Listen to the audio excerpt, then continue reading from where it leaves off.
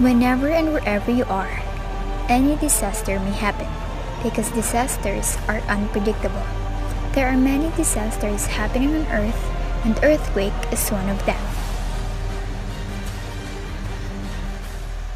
But first, let me tell you what is an earthquake.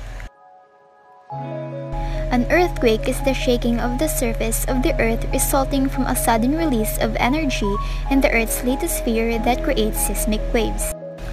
It is important to know what to do before, during, and after an earthquake.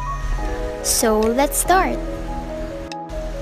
Before an earthquake, you must have a flashlight, a battery radio, extra batteries, fire extinguisher for any fire that may occur, and first aid kit. These items will help you if an earthquake occurs. Then, you must know how to turn off electricity, water, and gas to avoid incidents. And then, you must know how to use first aid kit and you must know how to do first aid. Because we do not know what may happen during an earthquake. Lastly, learn the earthquake plan at your school or workplace. So let's move on to during. During an earthquake, the first thing to do is to calm for you not to panic. If you are indoor, apply, drop, cover, and hold, and find a place to protect you from falling debris. If you are outside, find an open place away from power lines or anything that might fall.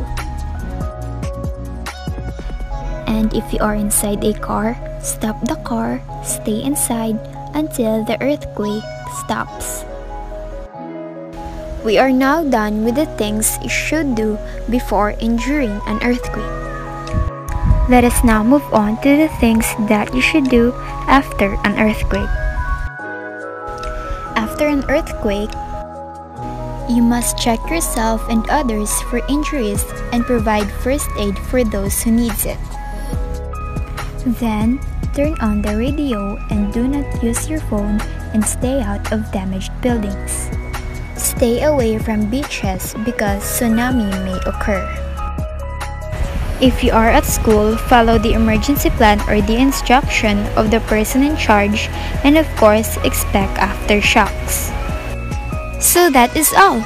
Now you have learned what to do before, during, and after an earthquake. Don't be scared of those disasters. Always remember that God is always with us. Prayer is the most important thing to do. Stay safe.